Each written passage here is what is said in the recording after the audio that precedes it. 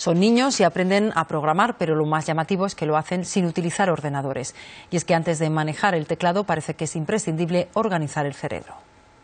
Vamos a aprender a programar y hacer robótica, ¿vale?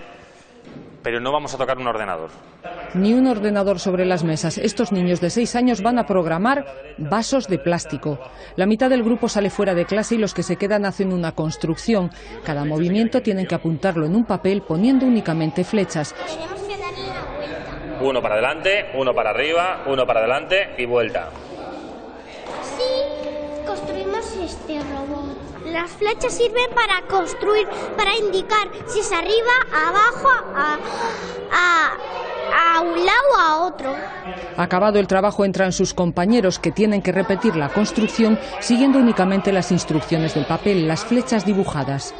Programar es con unos vasos de plástico hacer la- con las flechas que hay en un papel hacer lo que te dice. Eh, está habiendo ahora una moda de enseñar a los niños a programar y de meterles en tablets, en ordenadores, pero los niños lo que necesitan también aprender es qué significa programar, que básicamente lo que significa es interpretar un problema de, re- de la realidad y tratar de ejecutar una secuencia de instrucciones para resolverlo. Es imprescindible que, de la misma manera que eh, hablan inglés eh, castellano, puedan hablar el lenguaje de la computación.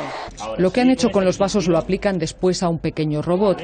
Aquí aprenden la importancia de trabajar en equipo y de cometer errores para encontrar el camino adecuado.